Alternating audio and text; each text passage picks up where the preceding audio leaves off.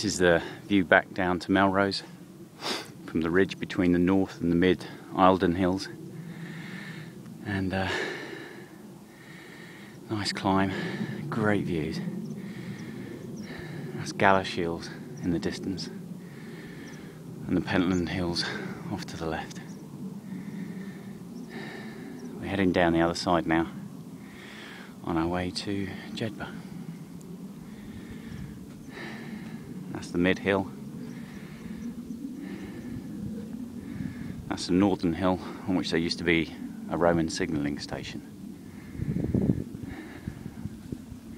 But we're heading south.